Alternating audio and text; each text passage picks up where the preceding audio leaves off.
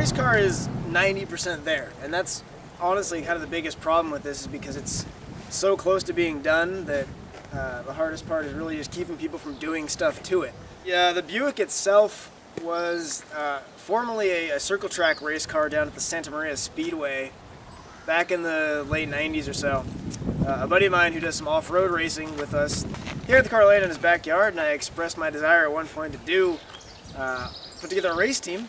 And he's like, well, hell, I've got a race car sitting in my backyard just rusting and collecting hornets nests. The biggest challenge for this race team is going to be just getting together the people we need, the uh, stuff we need, access to facilities, the things we need, uh, like money, for instance, to go race for a weekend. That's really the biggest challenge at this point. We estimate this car will burn about 150 gallons of mid-grade gasoline in a given weekend.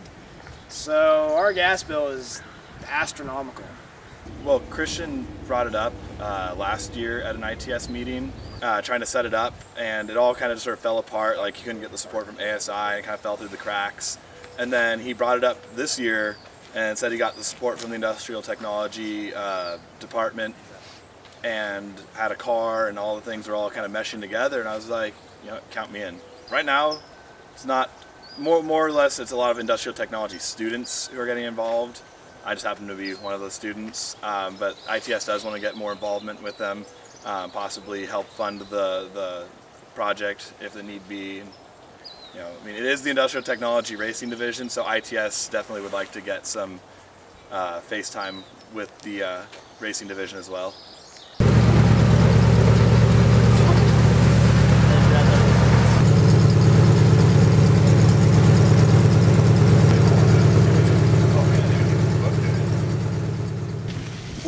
Uh, we need at least four to six drivers for the race. Uh, we thought about racing in August. It's going to be a bit of a stretch to make that.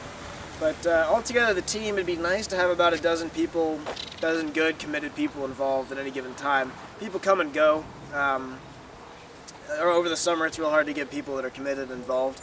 But uh, during the school year, we hope to have a fairly solid crew. A dozen would be nice, but uh, I have contingency plans for skeleton crews as well. Well, our club heard about it through, um, actually one of our members brought it to my attention. Um, and then we met with Christian a few days ago and started talking a little bit about his car and his vision. Well, it's definitely an interesting project, especially since most of our members have uh, built cars and, and, race and things like that. Um, we're currently in discussions with, uh, with Christian and the uh, Industrial Technology Racing Division about a potential partnership between our two organizations. Um, but it's just, um, the discussions have just started since we've just become aware of it.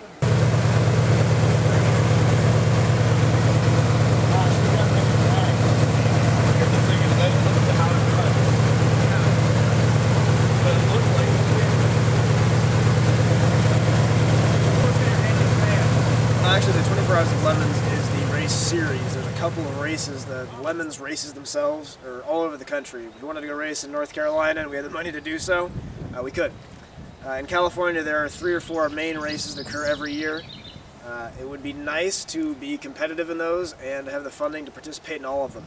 Uh, at this point, we're shooting for a race, a solid race in December or October, depending on our funding situation. Uh, that's kind of where we'd like to go with this, is to be able to race two or three races a year during the uh, academic year, and maybe one in the summer giving, uh, depending on commitment and uh, availability of money.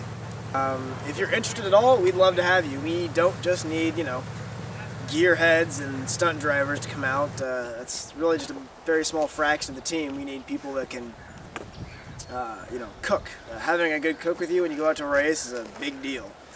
Um, you know, and, and this car does need to have a theme. The 24 Hours Lemon does really enjoy their the themes they come up with for their cars.